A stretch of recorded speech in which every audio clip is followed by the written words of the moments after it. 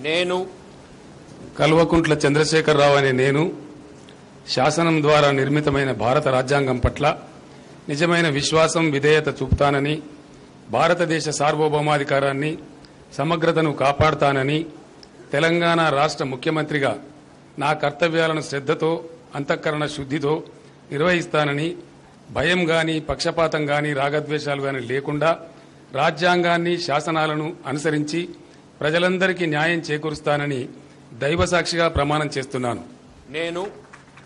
కల్వకుంట్ల చంద్రశేఖరరావు అనే నేను తెలంగాణ రాష్ట్ర ముఖ్యమంత్రిగా నా పరిశీలనకు వచ్చిన